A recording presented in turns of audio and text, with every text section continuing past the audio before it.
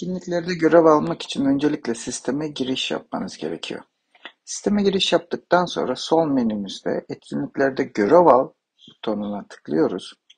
Karşımıza hangi etkinliklerde ne tür bir rol e, alacağımızı bize zaten sistem e, gö e, gösteriyor.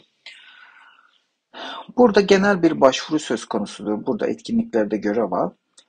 Daha e, özel e, davet şeklindeki etkinlik görevleri sizlere zaten e-mailinize gönderiliyor. Orada da aynı şekilde e, tiklerimizle e, görev alma e, onayını vermiş oluyorsunuz.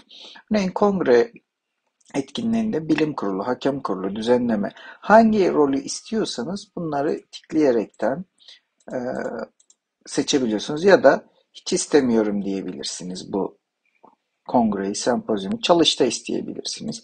Buradan istemiş olduğunuz rolleri seçerek yani kitapta, e, kitap bölümünde, dergide daha sonrasında CV'nizi ekleyerekten buraya CV'nizi ekledikten sonra kabul ediyorumu seçmeniz lazım. E, eğer ki Tekrar içeriğinde değişiklik yapmak isterseniz henüz daha kaydetmeden yapabilirsiniz.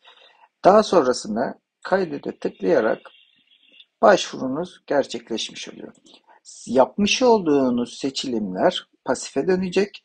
Şimdi editör hocanın ekranına düşüyor. Editör hoca size seçmiş olduğunuz etkinlik bazındaki rolleri tek tek inceleyerek CV'nize göre uygunluğuna istinaden onayı verecektir. Kendisi değiştirmek isterse üzerine değişiklik hakkı da hocamızdadır. Burada gördüğünüz gibi bir dahaki seçilim ancak editör hocanın size onay vermesinden sonra tekrar size bir etkinliği düzenleme ve görevleri değiştirme imkanı sağlanıyor.